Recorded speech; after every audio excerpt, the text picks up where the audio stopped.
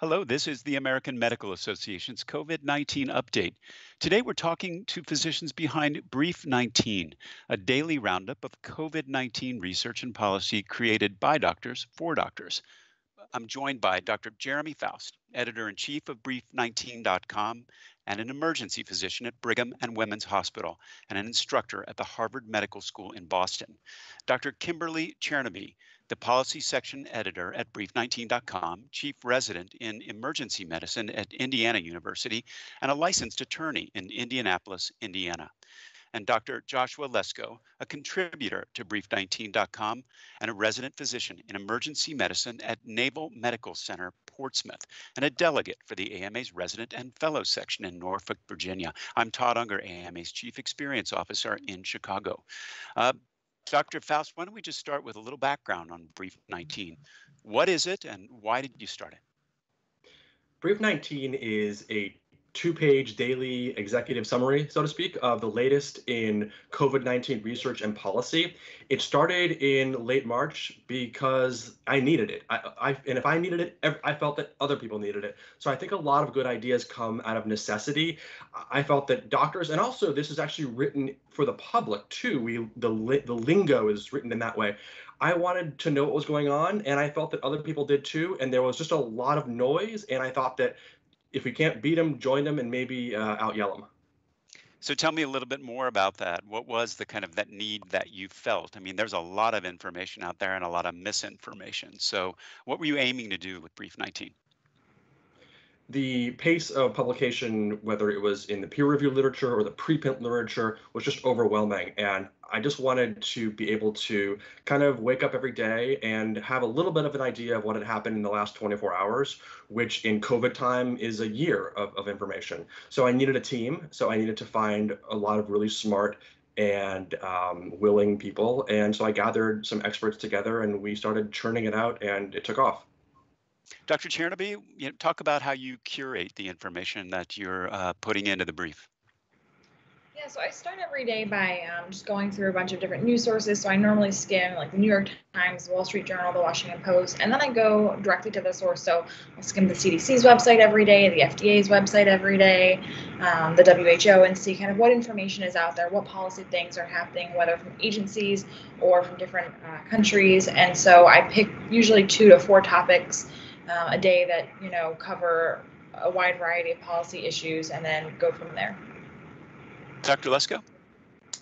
For me, it started off with I get a several different kind of consolidated briefs every day in my email, some with military focused, some from the American Medical Association or state or specialty societies summarizing COVID updates. So I look at those and then go back to the sources. If it's a congressional bill that's moving forward or something from the agencies to read what the actual source material is and then come up with a brief from that.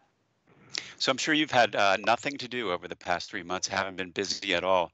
Uh, how have you been able to publish something like this during a pandemic? Well, basically, it takes a village. Uh, the, the, number of volunteers, there's maybe a half a dozen people who do it all the time, and then another half a dozen or more who've ch- you know, chipped in various amounts. And basically, I think we all felt the the the urgency of this moment, and so we just squeaked out the time. I mean, it's going to be it's going forward. It's going to be really hard, and we're trying to figure out how to make this sustainable. I'm happy to talk about that. But I think what really drove us all was the sense that we were doing something important and that wasn't being done, which was to remove that barrier between physicians and the public, or that processing between when a story comes out and someone else reads it, we're on the front lines. And so we felt like we wanted our experience to be immediately available. So when you start to do that and you start to sense that there is someone receiving that information and that it's appreciated, then it, it begins to sort of be self-fulfilling. You want to do it because you feel the need is there on both ends. Dr. Chernoby, who do you hope is out there reading this? Ooh, well, um, I know my mom is reading it.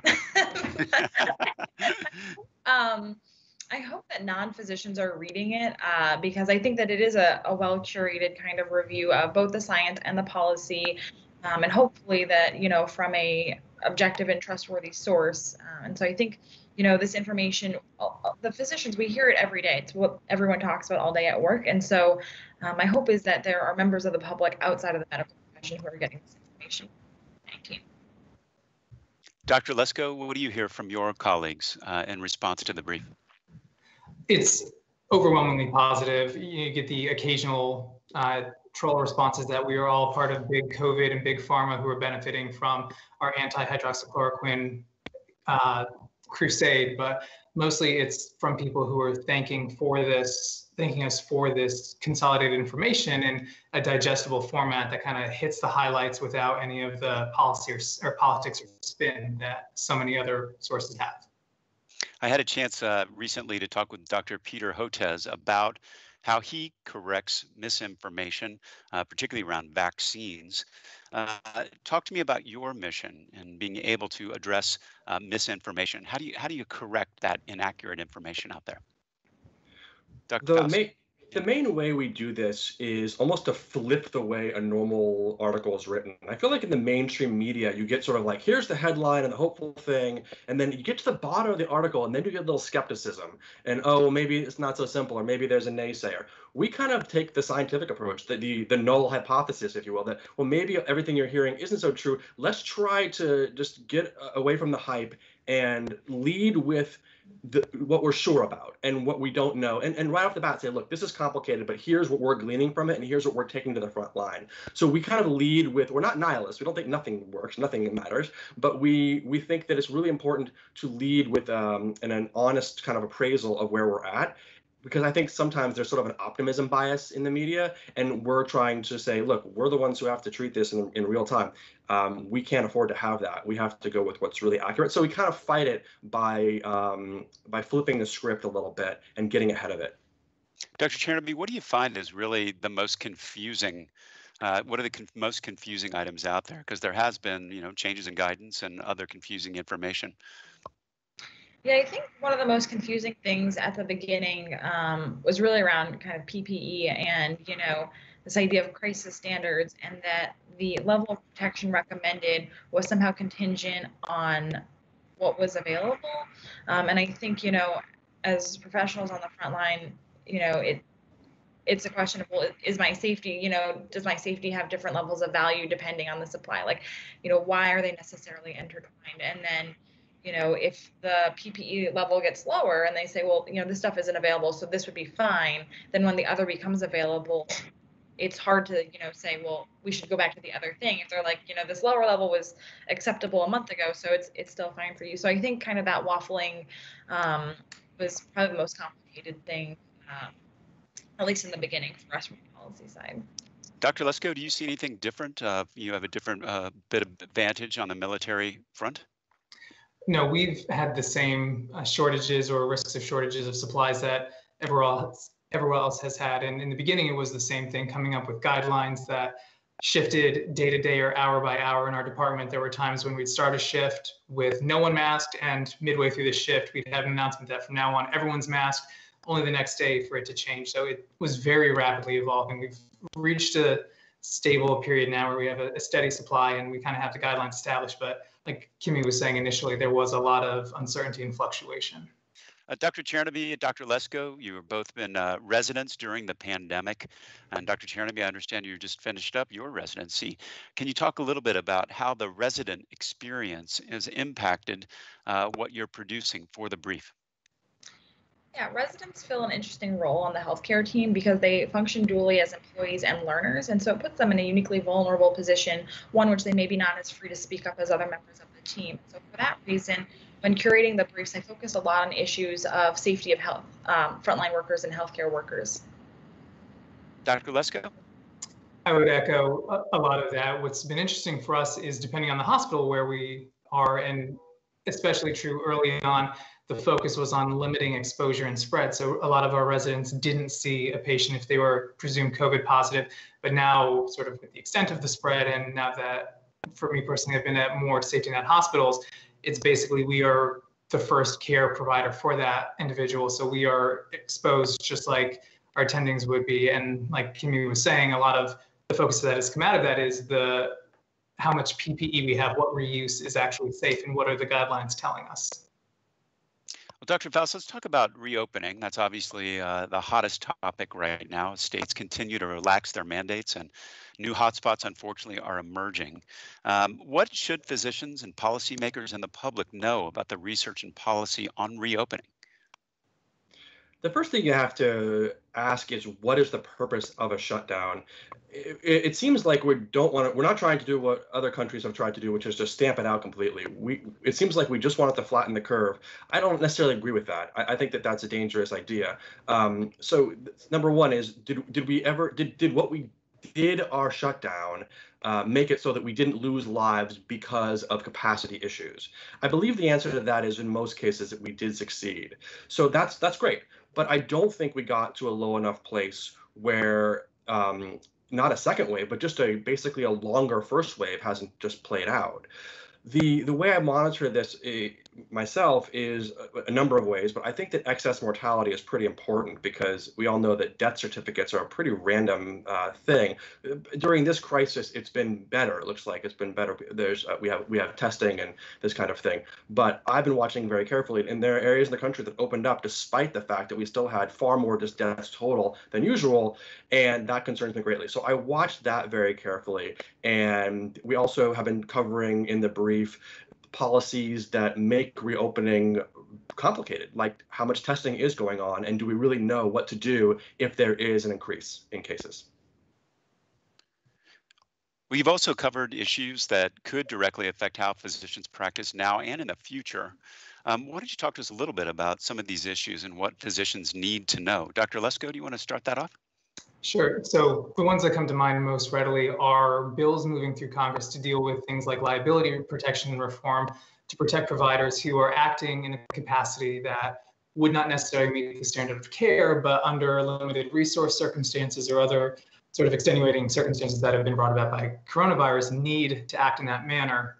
Likewise, reforms to Medicare reimbursement for telehealth visits becoming a more permanent and alternative to office visits is something that's being sort of pushed from both sides. Um, and just kind of evolving practice patterns in response to these emergent changes that we've found have been beneficial. Another great example is moving from a fee-for-service model to a uh, alternative payer system based on the outcomes data that we're seeing from this new dump of Medicare data that just came out. Dr. Chernoby or Dr. Faust, anything to add? I think big other things to you know that we've seen were things like um, so, you know in the emergency department we have to do this medical screening exam and exemptions to that where you could do that now you know an iPad or some other um, source instead of everything being in person. Uh, and then obviously you have all you know like Josh was saying you know through Congress um, the CARES Act you know there's a lot of uh, stuff in there about you know like loans and how that affects especially like small offices and independent providers. So I think that's all stuff to keep an eye on. Dr. Faust, where do you think, uh, based on what you're seeing, that we need more research and policy development? Uh, where do you think you know we're lacking, and how can we uh, help navigate this during the pandemic? One of the reasons there's been so much confusion around therapeutics is that a lot of low quality research gets pumped out and put in the media. If you look at the United Kingdom, they have engaged in a large set of randomized trials that are highly organized we need to follow suit. We can't, this piecemeal idea of let's just see what happens is inadequate to a pandemic circumstance. So I'd like to see us uh, uh, adopt a little more of an organizational approach. I liked it when we heard things like the federal government wants there to be standardized control groups, that we want to be monitoring outcomes. I was disappointed when I saw studies, even from the National Institutes of Health, changing their primary outcomes and not necessarily telling the public about it we need rigorous standards so that the science is clean and that will actually be what that, that will actually help us get rid of the noise of, of crummy publications. It's a it's a matter of something's going to fill the vacuum. So let's fill it with quality because if we don't do that then it's going to be filled with quantity of junk. Dr lesko? I would echo that perfectly. We need to keep pumping out like we do at Brief 19, well researched, data that is free from bias and is it's the science, it's the facts. The facts don't lie forward, and whatever they show, that needs to guide our decision making. Well, let's uh, lastly talk about the future for Brief 19. Dr. Chernoby, you're in a major transition. Uh, how do you see yourself being able to contribute and uh, grow, uh, help Brief 19 grow beyond the pandemic? Yeah, so Brief 19 has obviously been um, kind of a, a huge commitment uh, over the last couple months, you know, turning out briefs nightly, um, you know, five plus days a week. And so uh, this weekend I'm moving to DC to start fellowship, and so I'll actually be stepping down as um, section editor for the policy section, but hope to contribute, you know, occasionally um, in the future as I'm able to and help recruit um, other people to help continue to grow Brief 19. Dr. Faust, where do you see taking this in the future? Yeah, so in the early phase, it was really kind of it was it was easy to have a small little nucleus of very motivated people to get this really up and running, and you needed that. And I think that as we exit that phase, um, Dr. Chernoby is actually just basically summarizing what what I already know, which is that the, the the the team has to expand because we all can't be doing this lift every night. But the feed and, and the feedback that I get is that it's highly valuable. And so I want to keep doing it. And I actually think that the model is really strong, the idea of removing those barriers between physicians and the public. So the, the way to, I think, to do that is say, okay, these three months was this incredibly intense experience where a, a, nucleus could really do it all. And but I think to make it sustainable, it has to be a, a, a little bit larger of an organization. So many more people doing um, doing uh, divvying up that huge workload that uh, just a handful of people did uh, and what a, and what a great service it was it has been but uh, moving forward in order to make it sustainable we've got to sort of spread it out a bit that's it for today's COVID 19 update. I want to thank Dr. Faust, Dr. Chernoby, and Dr. Lesko for being here today and sharing their perspectives. We'll be back tomorrow with another COVID 19 update. For updated resources on COVID 19, visit ama assn.org slash COVID 19. Thanks for being with us here today and take care.